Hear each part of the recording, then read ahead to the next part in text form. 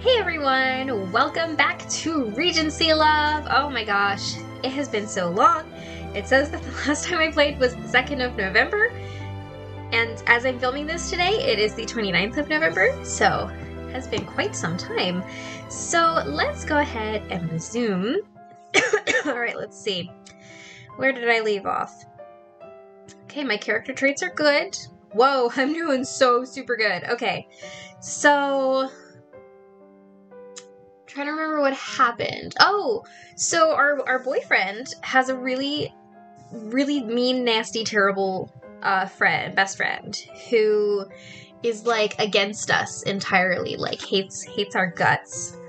Um, and something else, something about his family, something about his family, but I forget what that was.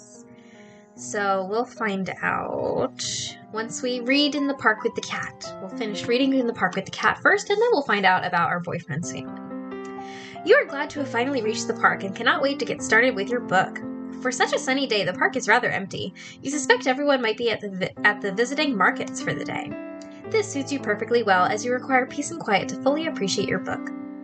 As you make yourself comfortable on a nice patch of grass, you notice that you are not entirely alone. Fortunately, your company is not at all intrusive. It is indeed Lord Fatcat. Lord Fatcat nods at you, then tips his furry head at your book. Let's see.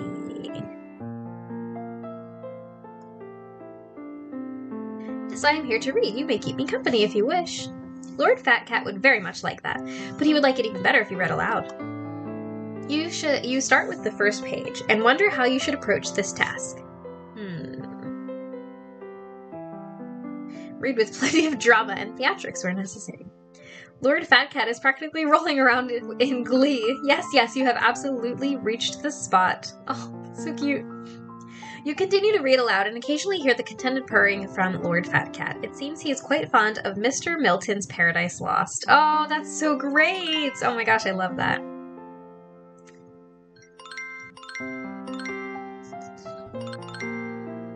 Give me all the points. Alright, so. Man, I'm doing so good this round. Okay, here's our boyfriend. Here he is. Okay. Alright. You have just settled your latest accounts at Mr. Murray's shop when you spot Mr. Graham, who has been trying to catch your attention. Miss Sharp, you seemed to be so lost in thought, I was almost resigned to escaping your notice entirely. Oh, goodness gracious, you could never escape our notice. Oh no, I'm out of water. How am I gonna get through? Mm.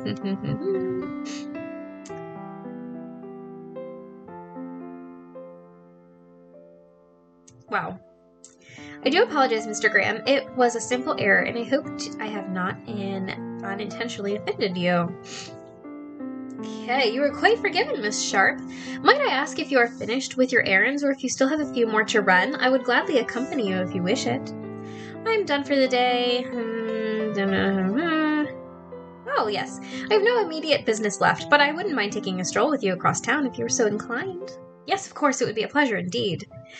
Before either of you can say another word, you notice the pleasant chatter around you has ceased. Soon you realize that a certain newcomer has captured everyone's attention. Oh no, I remember this. I remember this. Okay. It is none other than Miss Peregrine, who has just stepped out of Mr. Mortimer's haberdashery across the street. Although she's not a particularly tall lady, she holds herself with much dignity and poise. Her dress and co- coat both her dress and coat both boast the most exquisite workmanship, though they are also still sus- suitable for day wear. Even from the distance, you can see the quality of her soft leather gloves, which she puts on with much grace. But without a doubt, the star of her ensemble is her glorious bonnet, which contains an assortment of flowers and feathers that are carefully arranged to perfection. You realize that though you have spoken about Miss Peregrine on occasion, this is the first time you have seen her in such proximity.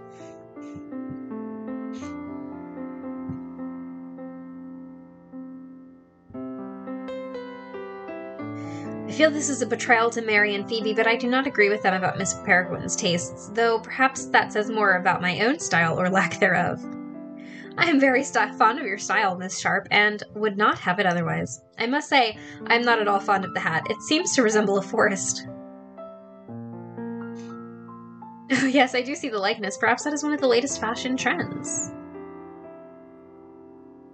it would appear so. Perhaps it would be best if we leave Miss Peregrine to her business. I confess I am not at all inclined to continue observing her.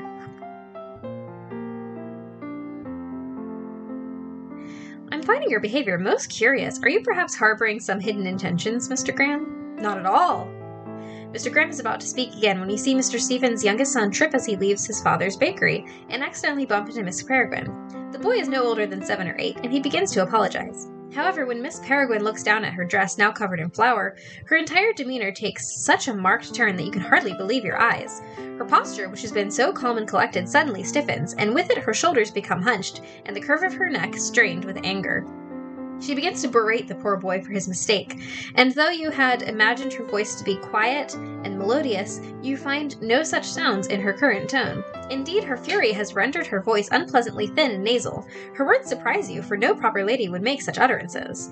The boy starts to cry, but Miss Peregrine pays him no heed and continues to screech at him. You suspect she would have continued in such a manner if had uh, Mr. Stevens not rushed out of his bakery.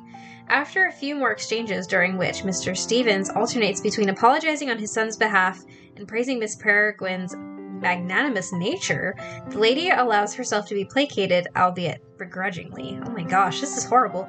With some final words in a much more sensible tone, Miss Peregrine straightens her back and enters the carriage that awaits her. Only when the carriage has left the main street does the conversation amongst Darlington's residents resume once more, no doubt centered on the spectacle you have all witnessed. You turn to your companion, who is shaking his head sadly. That boy must be quite distressed. I think I shall pay Mr. Stevens' bakery a visit later today and see if I can cheer him up.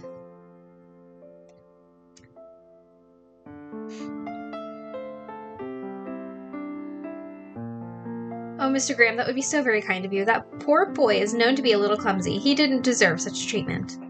Come, let us find a more pleasant topic, Miss Sharp, such as that of your latest project, perhaps. I do wish to know more about your needlework. You and Mr. Graham stroll down the streets as the sun shines warmly on you both. Okay. So she's not a nice person. Oops. I didn't read that. I think I did that last time too.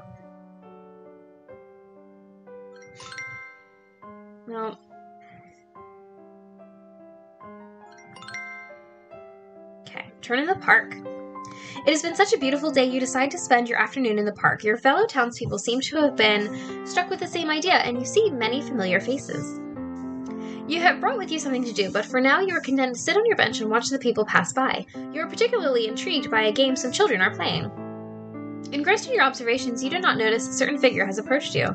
It is only when he makes a bow that you realize you have company. It is Mr. Graham, and he is wearing quite a smile on his face. Miss Sharp, I hope I have not disturbed you. You seem to be preoccupied with your thoughts, but you were also looking so lovely that I, I did not want to pass by without wishing you a good day. So sweet. Blush. And now you have grown even lovelier, Miss Sharp. Oh, stop. If you don't mind me asking, what brings you out here this afternoon? Are you simply taking in the sun, or do you have another purpose?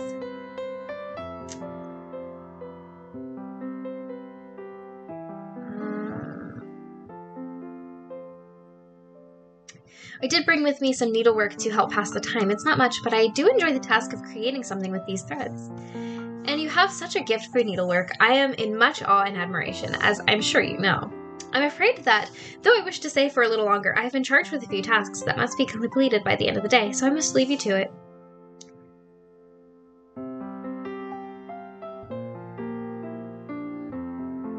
I hope the Colonel is not working you too hard, Mr. Graham. You always seem to be afoot on some task or another. I find it a great privilege that the Colonel has entrusted me with these, so it is no bother. Just as Mr. Graham is about to bow and go on with his tasks, you see another familiar figure under the shade of a tree not too far away. It is Lord Sutton, and you are surprised to see he is with Miss Peregrine.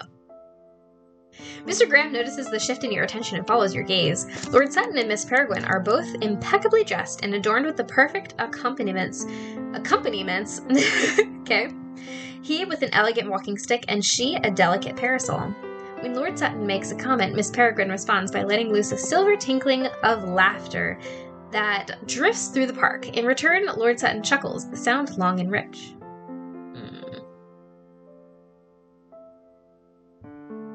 Mm. Hope they'll marry and produce a plethora of haughty, spoilt children.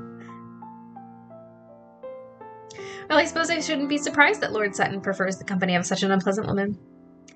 Lord Sutton has spent a fair his fair share of time obliging rich ladies with titles, young or old.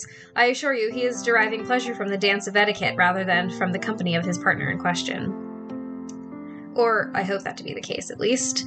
I would not wish to see him married to one who screeches at crying children. Hmm, true.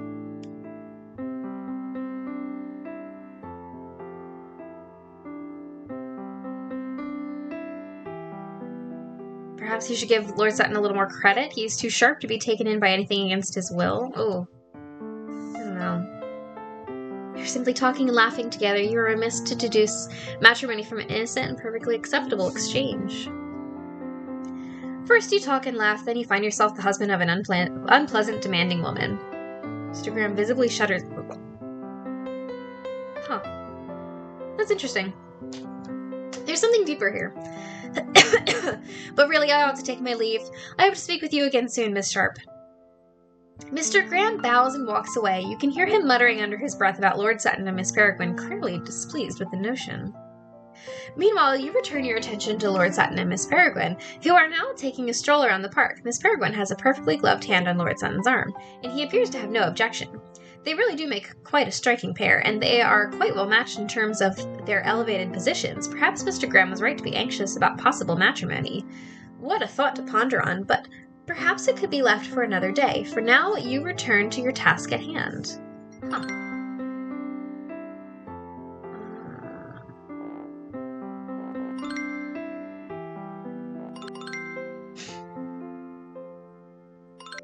I don't remember what it is. Oh, scandal.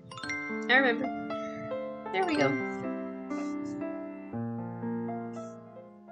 Okay.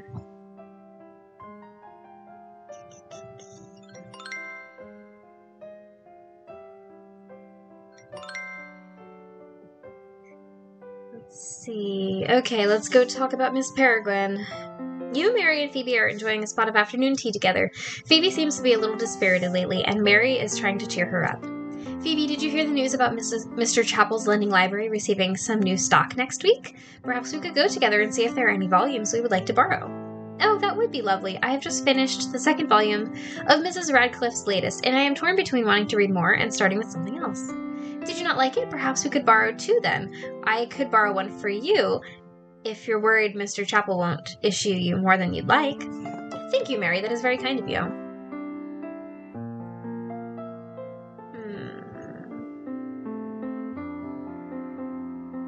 If you feel the need to take yet another book, you can have mine too. Elizabeth, you were too kind. I think I might like that very much. Oh, but on another matter, have you both heard about the commotion that surrounded Miss Peregrine the other day? Goodness, I don't know how it slipped my mind.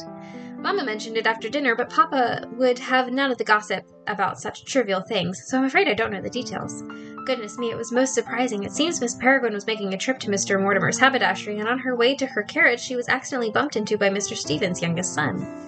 Yes, I remember him. Quite a sensitive boy, if a little clumsy, and always so keen to help his father in the bakery. I think the poor boy was running an errand for his father at the time, tasked to fetch some ingredients, I believe, and he was covered in flour when he collided with Mrs. Peregrine, with Miss Peregrine. Oh, her dress must have been ruined. I'm sure she was quite gracious about the accident, though. Far from it, actually. Instead of brushing off the matter as a little inconvenience and reassuring the boy, Miss Peregrine caused quite a scene by admonishing him in the most unladylike way. Dear Mary, is this another one of your pranks? For I can't believe it otherwise.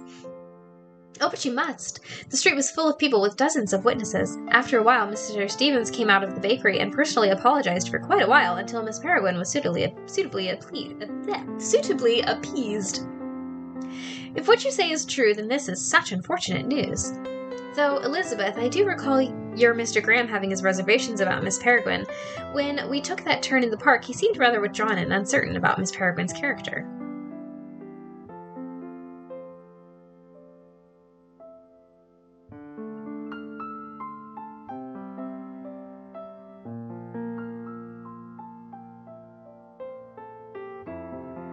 What made him so quick to notice her flaws.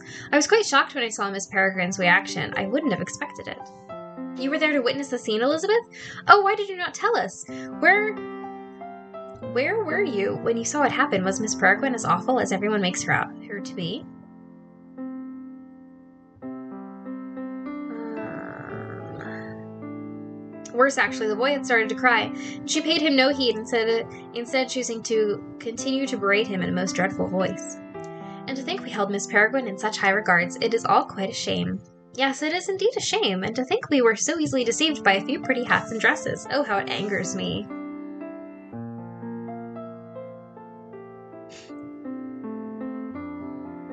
Please don't be angry, dear Mary. Let us be glad that we are surrounded by those who are good and true. We do not need a Miss Peregrine in our lives.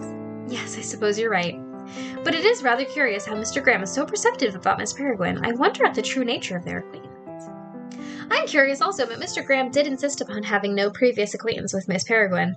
I do not take Mr. Graham for a liar, but I think some element of his past may have contributed to his insights. Uh, but how well do we really know Mr. Graham? He may be wearing a soldier's guise to hide his sinister nature, and we are all of us perfectly deceived.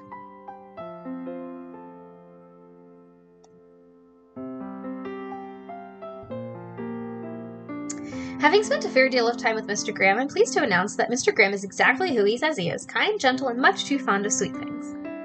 Now, as for his friend Lord Sutton, he is always so bold and forthright, I suspect he harbors no secrets whatsoever. Phoebe agrees half heartedly. It becomes evident that her thoughts have moved elsewhere. She speaks after slight hesitation. Mary, Elizabeth, I don't wish to spoil the mood, but, well, I would like to say that Tom has been quite upsetting. Oh, why must he continue to distress you so? He always played well with us when we were children. But do not allow him to affect you, dear Phoebe. Let us forget about him for the rest of the afternoon. Why don't you tell us why you didn't like Mrs. Radcliffe's book? After a quiet sniff and a quick dab of her handkerchief, Phoebe begins to give her reasons. What starts off in a watery voice soon steadies, until Phoebe is speaking with her usual authority about her beloved books. Uh, the time passes quickly, and soon you bid one another farewell. When you leave, both Mary and Phoebe seem considerably less distressed by their respective concerns. I thought that I broke Phoebe and Tom up in this game, but maybe I'm wrong. I don't remember.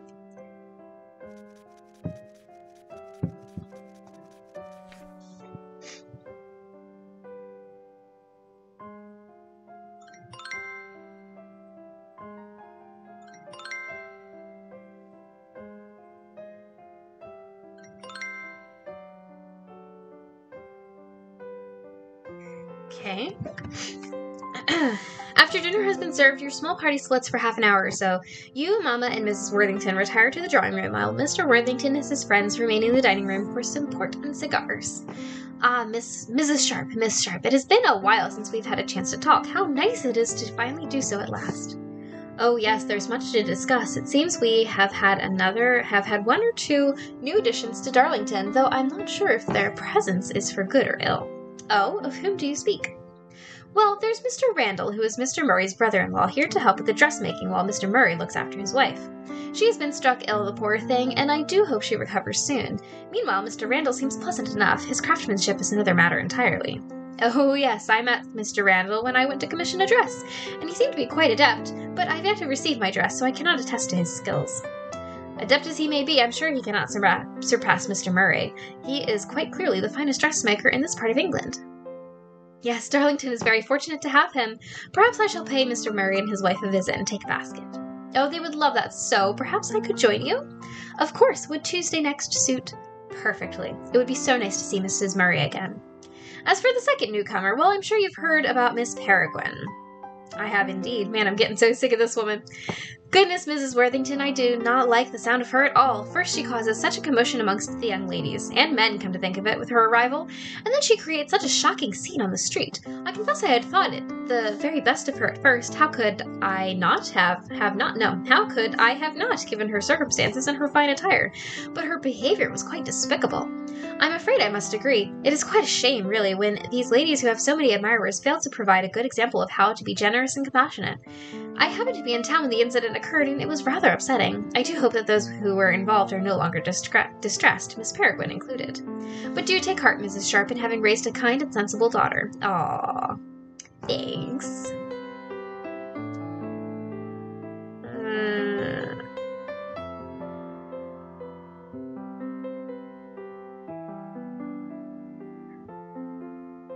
Cannot make any promises, but I will certainly try to behave with as much kindness and dignity as I can. Those words are comfort enough to me. But we can all rest assured on the matter of Miss Peregrine, at least. Colonel Watson informed me the other day that her business in Darlington is done and she'll be leaving in the next day or two.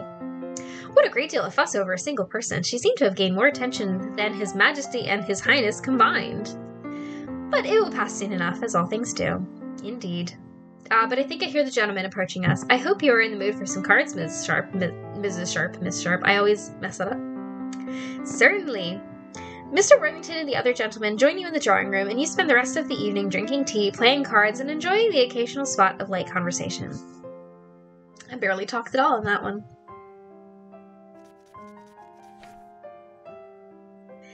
Ooh, errands from Mama. You're on your way into town when you see Mr. Graham. He approaches you with a joviality that seems a little forced. Miss Sharp, what a lovely surprise!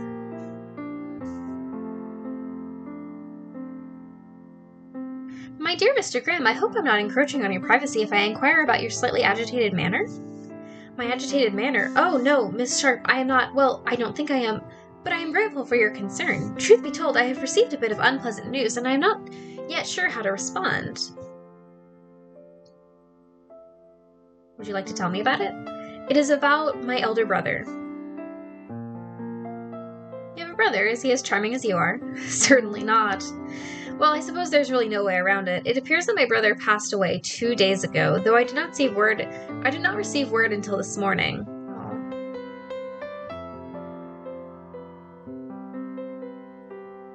Touch him lightly on the arm. Oh, smile. When I was 16, due to my brother's interference, in a personal matter, I was disowned by my father and rejected by my mother. My parents passed away a year later, which was when I left for the military. Holy cow! I suppose I chose to lead a regimental life because it was the one profession that would take me miles away from a family that cared not for me. Since then, my brother and I have been strangers to each other, so I am unaffected by his passing. I am, however, a little undecided about whether to attend his funeral. Whoa. Oh boy, this is a big choice coming up.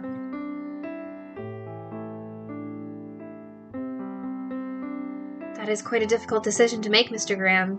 It is. I was wondering, would you advise me on what you think I should do? Oh, no, I don't know.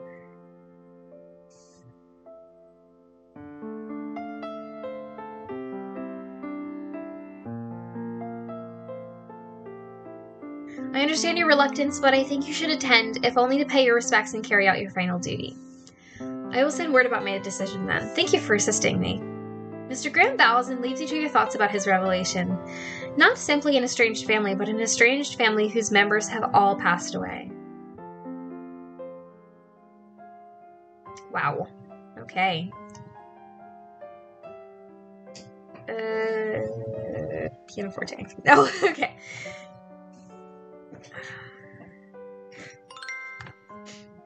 See. Needlework. A letter. You have received a letter from Mr. Graham.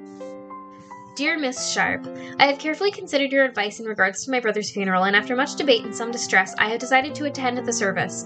It will not be a pleasant experience, but I am fortunate enough to have a steadfast friend in Lord Sutton who will be accompanying me. I am also consoled by the knowledge that once this ordeal has passed, you, Miss Sharp, will be in Darlington upon my return. So sweet. I already look forward to when we next meet. Yours, James Graham. All right. Well, we'll see him soon then, I'm sure. Mama wishes to speak. Uh-oh. What we do? What we do wrong? Elizabeth dear, I've been lately I have lately been wondering about Mr. Graham. I hope he is not up to any mischief. What would he be doing?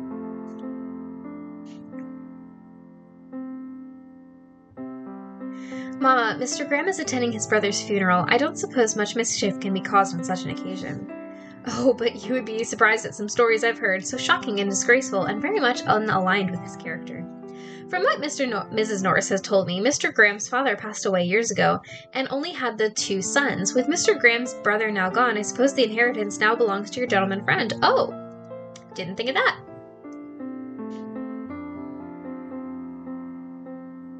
I suppose that would be the case, but what is it that you really mean to say? I am only being practical, Elizabeth dear. If Mr. Graham were set to inherit, then that would make him a very fine match for you. Inheritance or no, he is already a fine match for me. But an inheritance would make him an infinitely finer match, my dear. Mama is a gold digger. well then, I have said my piece. I do hope he will return soon so we can settle the matter of his inheritance. Hmm, very interesting. Very, very interesting. I don't know. I know nothing about. Okay, school children and tea and more tea.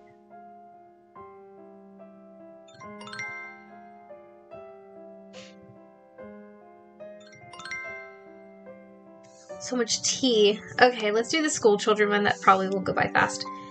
Um, you're walking past Lambton Hall when you see the school children sitting outside appearing a little glum. Let's approach them. Tabitha, oh, Tabitha nudges the boys and she sees you, and all the children, all three children, whoops, cancel, no, okay. All three children straighten their backs. Good day, Miss Sharp. I hope you are well. Hello, Miss Sharp. With a small shaky bow. So cute. Miss Sharp. Hello, children. I couldn't help but notice you are not your usual selves. Is anything the matter? Oh, Miss Sharp, you are friends with Mr. Graham, are you not? Has he left us forever? Don't be silly, Tabby. Just because Miss Sharp is a grown up doesn't mean she knows everything about Mr. Graham.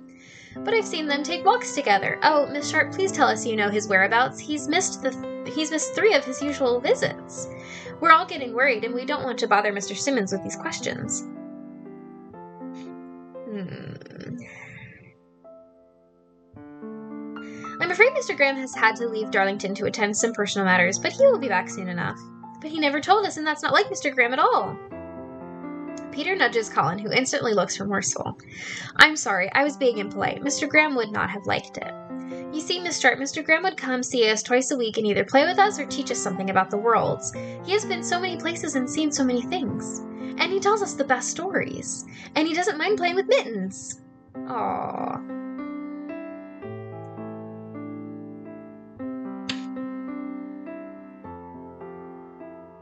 I think it would please Mr. Graham to know that you have made progress with your studies. Perhaps you could surprise him when he returns, which he definitely will. Oh yes, Mr. Graham would like that indeed. We must work we must all work extremely hard, especially you, Colin. Of course, I'll do anything for Mr. Graham. Thank you for speaking with us, Miss Sharp. We are much obliged and wish you a good day. You leave the children in far better spirits than when you found them. As you walk away, you can hear them chat excitedly about giving Mr. Graham a gift upon his return. So Okay. What now? Tea? Tea, right? Yes, and Oh, no. Okay. Um, he was in the army. Yes, correct. Okay, wait, no. There was no one. Yeah, I don't. Oh, six shillings per yard. Okay. Tea. You, Mary, and Phoebe are enjoying a nice afternoon together. Elizabeth, have you had word from Mr. Graham? Do you know when he'll be back? Oh, I do not know. Oh, Mary Phoebe, waiting is such a torment. It will be over soon, dear Elizabeth. But he has gone to attend his brother's funeral. I'm starting to suspect there's something more to it. Perhaps he means to embark on a scandalous adventure. Oh no, Mr. Graham is most assuredly at his brother's funeral. One of Mama's friends is a distant relation of the Grahams, and she has spoken about the late Mr. Graham. Is that so? Do tell us all, Phoebe. Well, there's not much to say, really. Mama only mentioned it in passing, and I did not wish to pry. Disappointment. Oh, but I do remember Mama's friend coming to dinner many years ago and telling us about a complicated situation that had arisen with a distant family member. She may have been referring to the Grahams. Undoubtedly. Do tell us more, dear Phoebe. The details are a little unclear, but from what I remember, this family had a son who was betrothed to a girl at an early age, but he refused to marry her. oh. This son may have been our Mr. Graham or Mr. Graham's brother or someone else entirely. I cannot say for sure. Oh, but that is intriguing indeed. Elizabeth, do you know anything about Mr. Graham's family? Huh. That he was estranged with his parents and his brother played a large role in it. Refusing to marry your betrothed would account for the estrangement, especially if his parents had insisted on it. But I wonder, what was his brother's part? Perhaps his brother alerted their parents of a Mr. of Mr. Graham's refusal. That would surely drive a wedge between them, especially in light of their parents' reaction. Or perhaps his brother had a scandalous liaison with Mr. B- Graham's betrothed, Miss Earlwood. Oh my goodness, Mary is always coming up with the crazy ideas. But then why would Mr. Graham be punished if his brother was at fault? I'm afraid that simply does not follow, Mary, dear Mary. Oh, I suppose not. How I wish we could find out the specifics. Huh.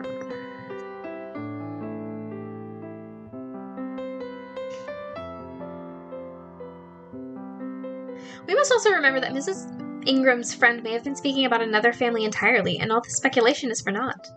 I admit that might be a possibility. Right, I think that is enough of Mr. Graham for now. Phoebe, have you finished fixing your hat with that lovely satin bow? Yes, but I'm not quite sure if I like it. Perhaps I should replace it with a feather, though I'm afraid Tom would be unkind about it. You spend the rest of your time together helping Phoebe decide what to do with her hat. Oh, look, I've got rainbows. Nice.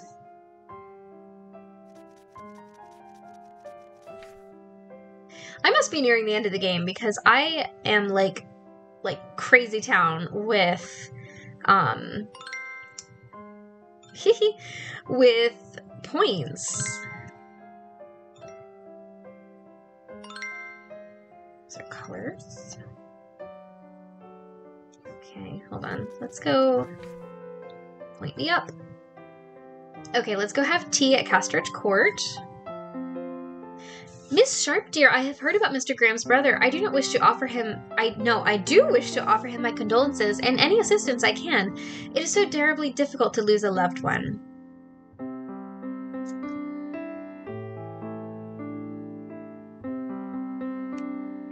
Thank you for your kind words, Mrs. Worthington. I will pass them on to Mr. Graham when I see him next. If I am not mistaken, nah. Let me start that over. If I am not mistaken, you are rather fond of Mr. Graham, are you not? It must pain you to see him thus.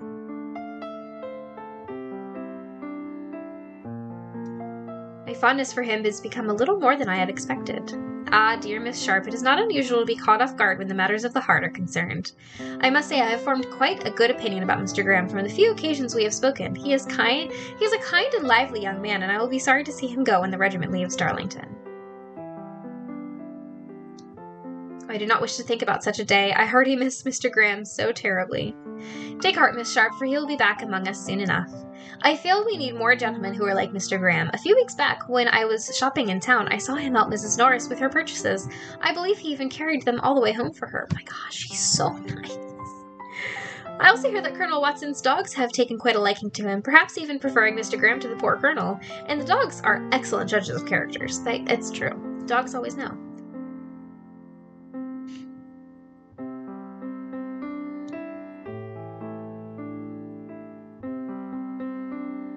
Now that you mention it, Mr. Graham does kind of remind me of a dog. He's playful, kind, and loyal. Oh, so he does.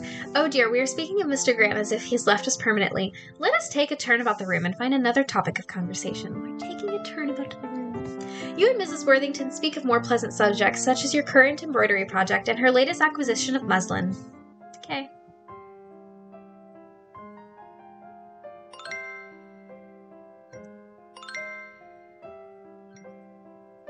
Here we go. An unexpected color. After his period of absence, Mr. Graham calls on you rather unexpectedly. Let's go. Miss Sharp, it is so good to see you at last. I do hope you have been well. Yes, but are you well? Ooh, last few weeks have been extremely, must have been extremely taxing on you. Um, I will be much better now that you are back. No, I will be much better now that you are among us again. Welcome back, Mr. Graham. And so the extraordinary Miss Sharp speaks. Thank you. I do feel I must apologize for having gone so long and without sending word of my whereabouts. The preparations and the funeral itself only took a few days, but afterwards. Well, there were a few matters that required my attention, quite unexpected and quite dreary, if I am to be honest, but they had to be dealt with.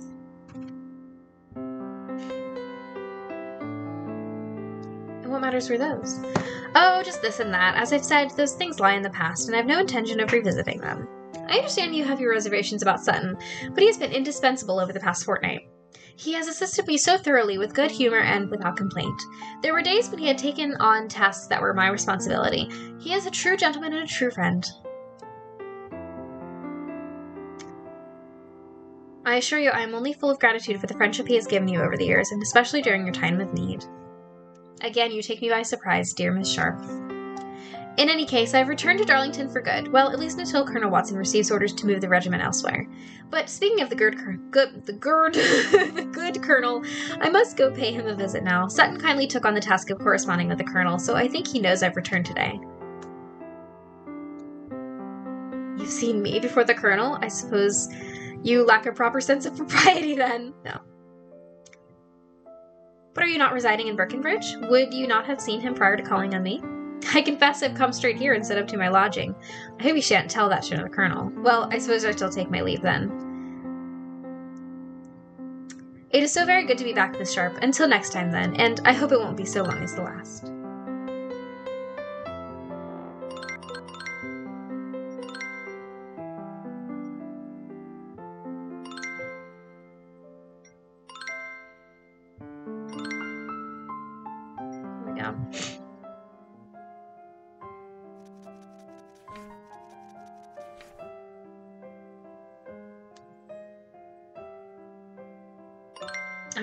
Like finish my points.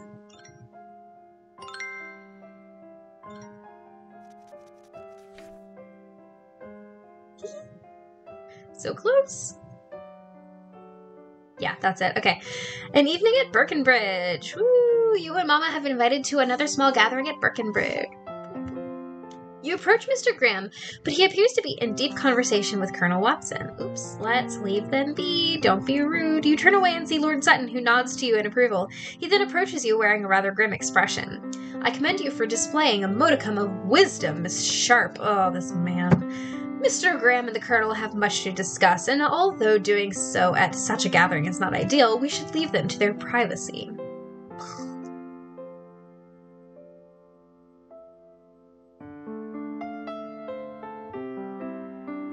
I understand. Men and women contend with a different set of daily preoccupations, and I suppose the difference is even more pronounced for men with such important duties. Quite right. But I can assure you they are not speaking of trivial matters at present. Leaving them be is the best and most appropriate course of action. Hmm. Hmm, hmm,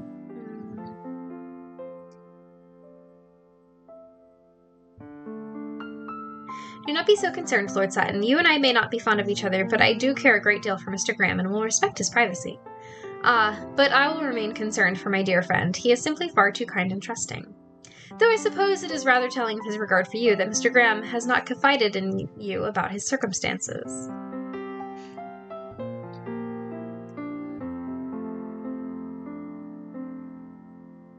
Lord Sutton, I see you are once again attempting to goad me. I assure you, you will be unsuccessful once again. Oh, you flatter yourself to think I concern myself with you at all. I am simply here for Mr. Graham.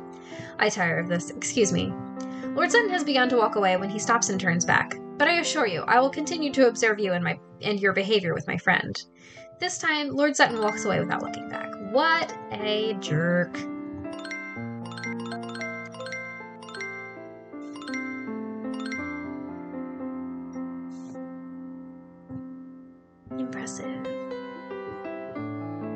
After you have thanked Colonel Watson for his hospitality this evening, you and Mama head towards the door. However, just as you are about to leave, Mr. Graham approaches you, looking rather apologetic. Mrs. Sharp, Miss Sharp, ah, I am glad to have caught you before you've both left. Mr. Graham, I'm afraid I'm a little too tired to stay for much longer. Oh, hang on. Okay, sorry. Interrupted. Uh, my father called me. Okay, let's go. Yes, of course, Mrs. Sharp. You must wish to retire for the evening. Please do forgive me. But I also wish to apologize for being a little preoccupied this evening. Colonel Watson, excuse me, Colonel Watson and I do not have much of an opportunity to converse unless an appointment has been made, and I'm afraid I was a little too absorbed in our discussion. You are forgiven. After all, we cannot fault the brave gentleman whose sole task is to defend our country. Thank you for your understanding, Mrs. Sharp. Might I perhaps call on you in the morrow? I don't see why not. I know you are well acquainted with dear Elizabeth, but you and I have only spoken on occasion. Ah, yes, of course. It would be a pleasure to speak with you more, Mrs. Sharp. Then it is settled. Now we really ought to go. Mamma hurries you off before you can address Mr. Graham, but when you look back at him, it becomes quite evident that words are not always needed. Okay. Mr. Graham's green eyes are invariably bright, yeah, invariably bright, and even from a distance you can see the joy that shines within them. His large grin, trans- grin transforms into a smaller, softer smile when he catches your gaze, a smile that bespeaks the most utmost intimacy. Almost imperceptibly, Mr. Graham dips his head in a nod that is both tender and full of promise. You leave the room, but the memory of your momentary interaction remains with you for days to come.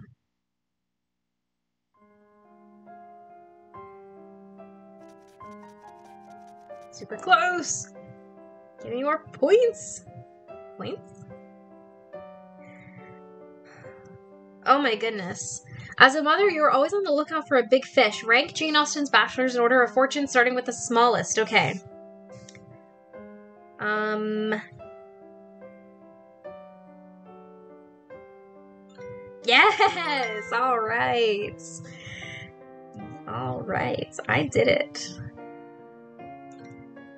enough? Woohoo! I got all my levels to 100! I didn't do that last time. I think I got them to like half. A visitor. As promised, Mr. Graham calls on you and Mama. Good day, Mrs. Sharp, Miss Sharp. Ah, Mr. Graham, you have indeed kept your word. Yes, ma'am, I am quite astonished also. As a boy, I was never inclined to follow the time, only the needs of my constantly grumbling stomach. You all take a seat around the drawing room, and Bessie brings you some tea. Mr. Graham and Mama seem happy enough to continue their conversation. But I suppose your vigorous training in the army changed that? Yes, indeed. I found the first few weeks exceedingly difficult, but when my peers rose before dawn every day without complaint, I resolved to follow their example. Nowadays, I observe my pocket watch and pay, hardly pay heed to my poor neglected stomach, except for meal times, of course, during which it takes full command. Oh, but what an adjustment to make. Your own mama must be very proud of you. I beg your pardon, Mr. Graham. I did not mean to be so insensitive, especially after your recent loss. Please accept my apologies and condolences. Mr. Graham shifts slightly in his seat, and you can see he's doing his best to remain a courteous guest. Thank you. There is sudden a sudden silence in the room while both Mama and Mr. Graham search for an appropriate topic. Hmm. Let's talk about dogs. Mr. Graham, I wish to inquire about your latest conquest of the heart. The Colonel's two spaniels seem to be shifting their loyalties to you. Oh, good, he's relaxing. Woo. Alas, I think their fondness has more to do with the treats I give them than any real affection on their part.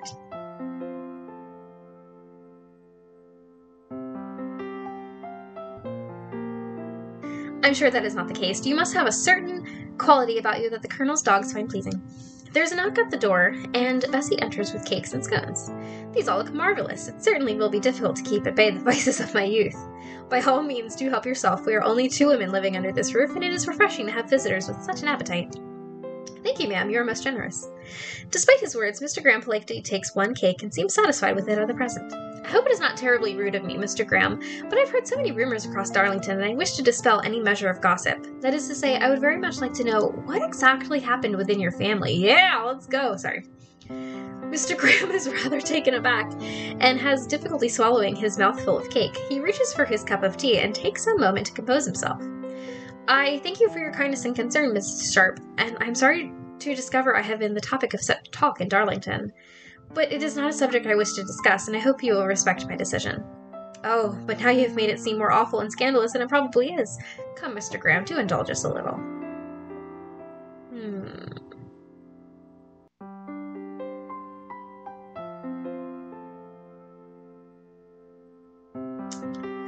Uh, please remember that every family has its own unhappy truths. You have done well to suppress the rumors pertaining to our own, so let us not badger Mr. Graham about his. Elizabeth, let us not speak of such matters. Oh, goodness, let's maybe not say that. Dear Mamma, if Mr. Graham does not wish to speak of it, then please do not be so unkind as to continue insisting. Elizabeth, this is one of the times when your opinion is not required, dear. Deliberately taking out his watch. Oh dear, I'm afraid I have overstayed my visit. I really must take my leave now. Thank you, Mrs. Sharp, Miss Sharp, for being so welcoming. I hope I will see you again soon. Yes, of course. Good day, Mr. Graham. Mr. Graham bows and leaves. He appears to be quite in, to be in quite a hurry, and his demeanor is rather stiff. Mama, however, does not pay this any heed and is muttering once again is muttering about once again remaining secondary to Mrs. Norris's wealth and knowledge.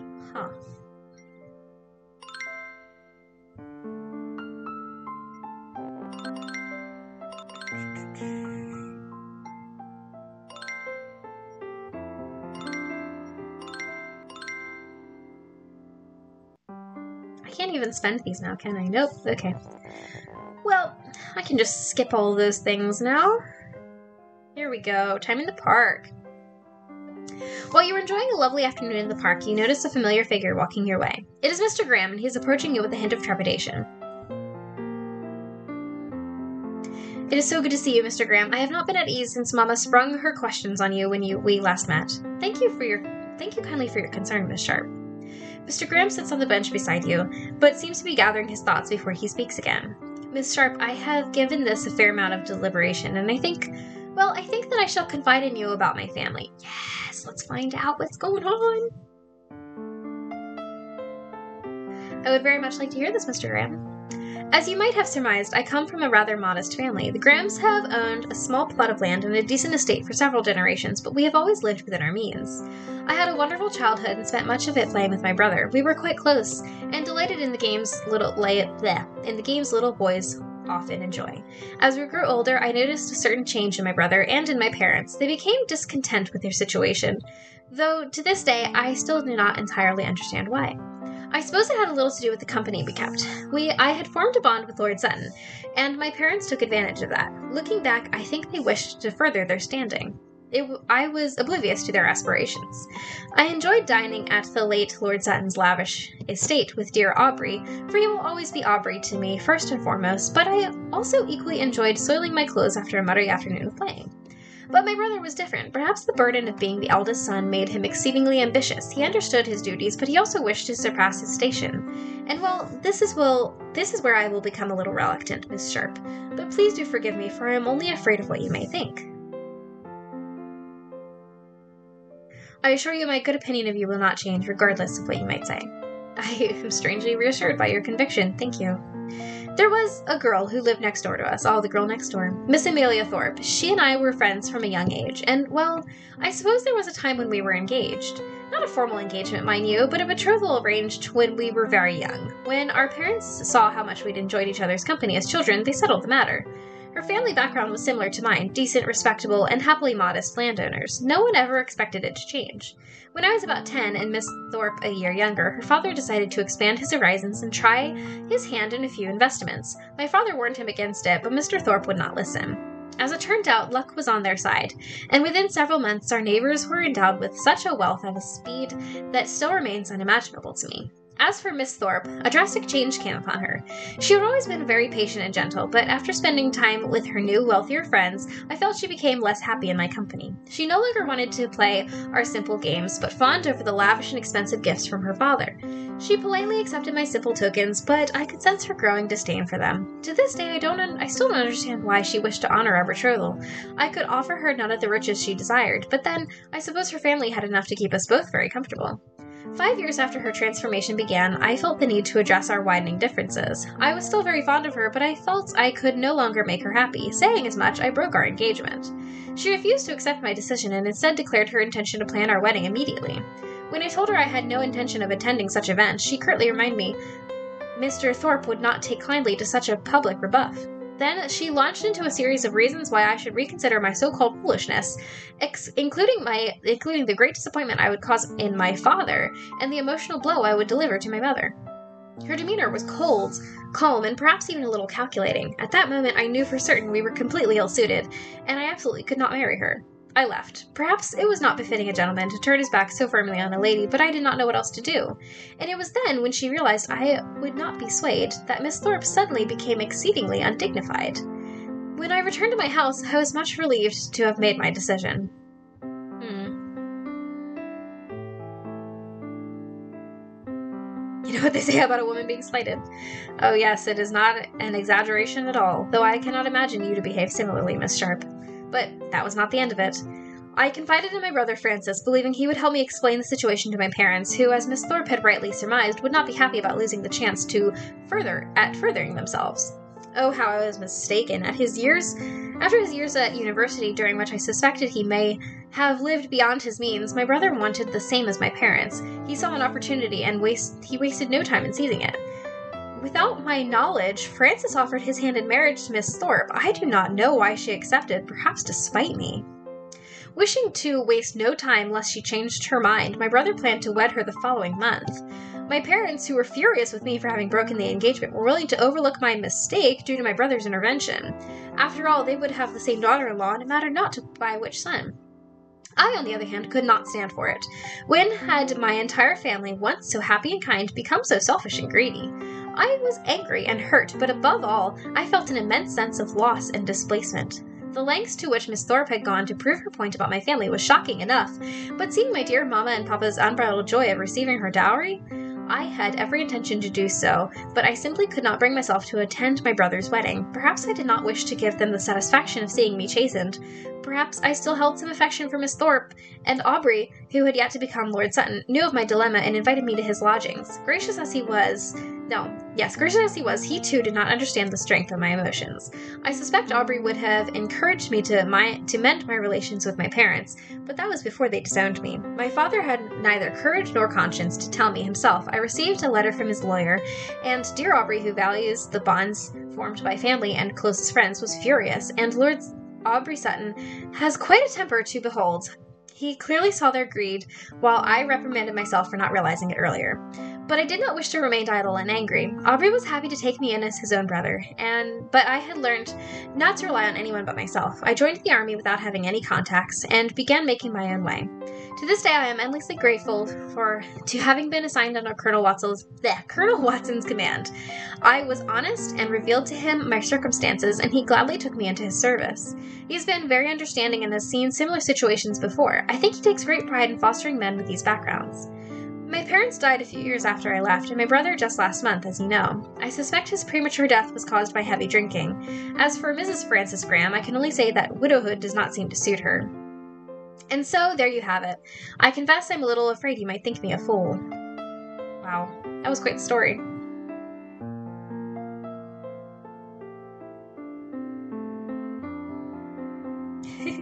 Far from it. You are a good man with strong virtues, and my opinion of you has only risen as a result of this knowledge. I cannot begin to say how much your words have comforted me. Goodness me, I have spoken quite a considerable length. I hope my long tale has not tired you. And I hope you're not too distressed from recounting such painful memories. I thought I would be, but in truth, being in your presence is quite a balm. What do you say to a turn about the park? It would be such a, it would be good to stretch our legs after such a while. Yes, a walk would be lovely, Mr. Graham. You take a quiet stroll about the park and speak of lighter matters until it is time to go home. Ever the gentleman, Mr. Graham insists on walking you to the door. Thank you for today, Miss Sharp. I look forward to seeing you soon. Likewise, Mr. Graham, I hope you enjoy the rest of your day. When Mr. Graham finally leaves, he says he has become much lighter and happier. It seems you are responsible for the balance that has returned to his steps.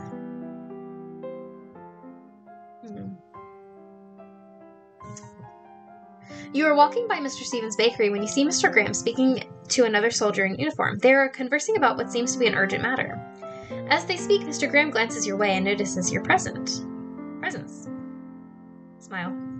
Mr. Graham almost breaks into one of his customary grins, but refrains from doing so due to his current company. His eyes, however, shine with delight. Knowing there's no possibility of speaking to Mr. Graham at present, you go on with your day. Visitor. After Mr. Graham arrives, you exchange a few smiles before you're both seated in the drawing room. Good day, Miss Sharp. I hope this is not an interruption, but I am very pleased to see you.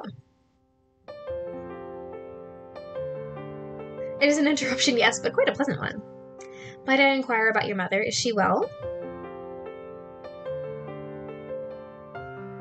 Do you mean to ask if she, yeah, do you mean to ask if she is home at present? Well, yes, I suppose. It's just that, well, truth be told, I would feel a great deal more comfortable knowing I won't be subject to another interrogation today.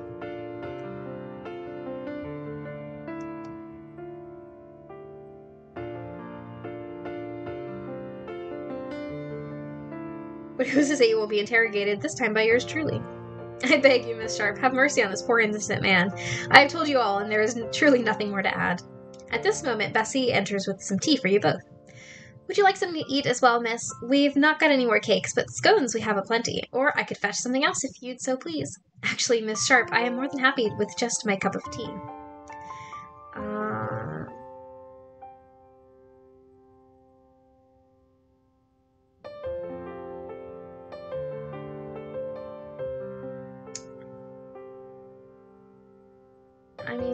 Let's have scones. Like, I'm always hungry. Oh, but that won't do. It was you yourself who confessed to being ravenous at all times. Bessie, the scones would be lovely. Thank you. Yes, miss. Really, Miss Sharp, please, do not go to the trouble. I have just eaten, and I really do not wish to make a fuss. no, it will not do. I insist, Mr. Graham. And I insist more strongly, Miss Sharp. Miss Bessie, this tea is lovely and more than sufficient. Thank you ever so much. Bessie curtsies before leaving, wearing a rather stunned expression. Miss Sharp, if you are amenable to the idea, I was hoping we could enjoy each other's company today in simple silence. I have brought a book with me, and well, goodness me, I do not know what has come over me. Perhaps this is not one of my brightest ideas. Haven't we already done this like three times together? Like, we hang out all the time. This is honestly the best kind of relationship. Like, um, where you can just be like in each other's company. Um, my best friend, actually, she's coming over today to do laundry. Um, she just comes over and we just hang. You know, we just do stuff. Like, sometimes she takes a nap at my house. Like, you know, that's the best kind of relationship is where you just like comfy together. And it's even better in like this kind of relationship where like he comes over and he just reads a book and then she just like works on her needlework and like, yes, let's go.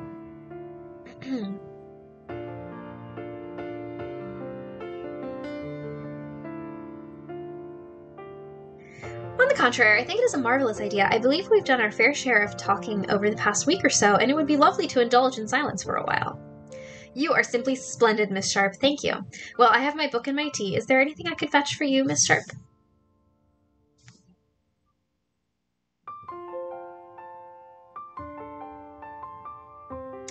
No, thank you. I intend to continue work on my embroidery project, which is almost near completion.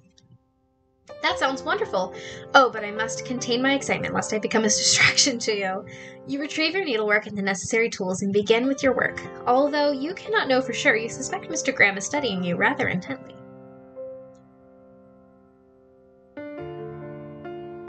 Let's glance up at him. Mr. Graham's surprise at being caught red handed quickly turns into a guilty grin, and then a warm and affectionate smile. He raises his book in a silent salute before settling into it. Look how cute he is! Oh my god. The time goes by rather quickly before you've noticed its passing. Bessie knocks and announces luncheon is ready to be served. I told Mrs. Gertrude Mr. Graham has been visiting, so she is prepared enough for two.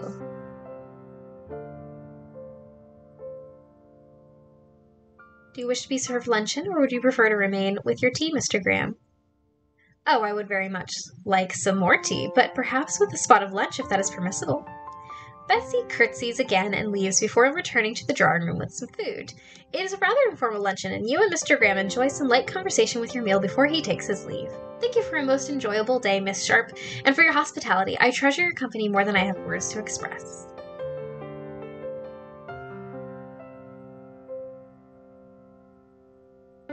Let us hope many more of these such occasions will arise. And I shall see to it that they do. You have my word, dear Miss Sharp. Please be so kind as to give your mother my warmest regards. Good day, Miss Sharp. You watch Mr. Graham as he leaves and disappears from view. When you return to your house, it feels a little emptier than before.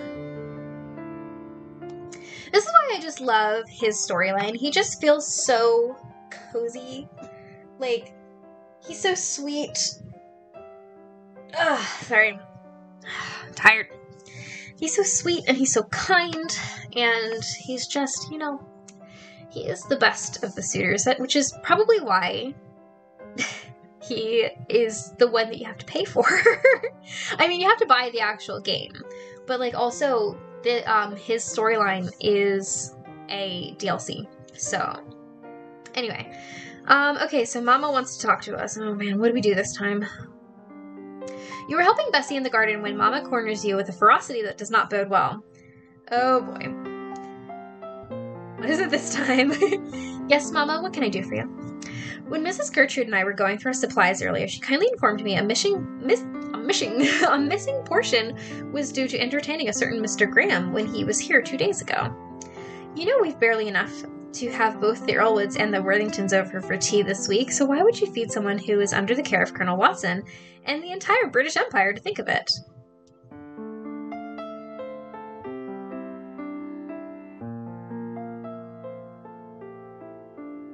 I suspect your reaction does not concern the food, but something else entirely. I shall get to the point then. Why did you not inform me Mr. Graham had visited?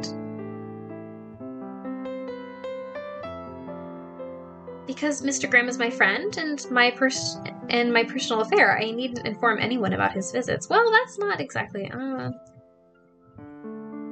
In all honesty, dear Mama, it simply skipped my slipped my mind. It wasn't my intention to keep anything from you. I'm sorry you had to hear from Mrs. Gertrude.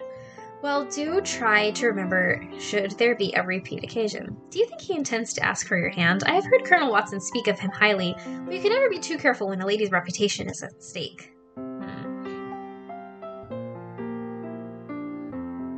Um, I understand your concerns, dear Mama, but I implore you to have some faith in me and in the good Colonel. Mr. Graham is good and honorable and would not wrong me. For your sake, I hope you have not been misled. Perhaps you think me foolish for being so prudent, but I cannot bear with the thought of my only daughter living with difficulty and in destitution. I would never forgive myself if Mr. Graham causes you the very unhappiness that is within my power to prevent. But perhaps I am simply growing more afraid with age. I do not know Mr. Graham well enough to trust him, but I will trust your judgment. Think no more on the luncheon, dear Elizabeth. Mamma gives you a small smile, then leaves you to it.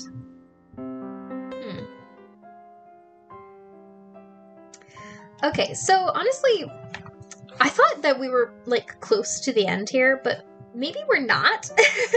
so I think I'm gonna go ahead and stop the game here. Hold on. Save. Um, Elizabeth Sharp. Yes. Okay, wonderful. Okay, so um, I'm going to stop the game here and we'll pick up next week for episode. I don't even know what episode we're on. Um, and then uh, we'll see. We'll see what happens. Seems like we're really coming to a close here. Like they're they're really dang close. So let's see what happens. All right. So um, check out my Instagram for updates of everything that's coming up in December. And obviously, if you're watching this video later than December, then thank you for joining me. And check out my Instagram for whatever's happening at whatever time period this is. Thank you. Okay. That is all. All right. Goodbye.